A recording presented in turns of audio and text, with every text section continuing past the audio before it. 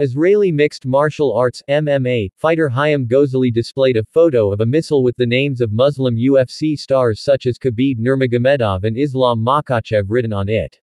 Gozali uploaded the photo in a post on the X social media application which has now been deleted because it was indicated as violating policy. However, the photo has already spread widely and has been re-uploaded by various accounts. In the photo the names Khabib, Makhachev, Belal Muhammad and Khamzat Chimaev are written on a missile believed to be used by Israel to attack Palestine. This is from me to mouse emoji, wrote Gozali. Gozali's behavior in uploading the photo received a strong response from netizens who flooded the comments column and re-uploaded the photo.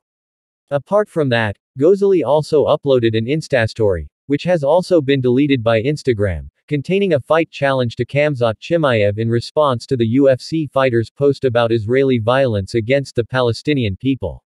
Gozali is an MMA fighter who competed in the Bellator event and fought in the heavyweight and heavyweight divisions with a record of 15 wins and 6 losses.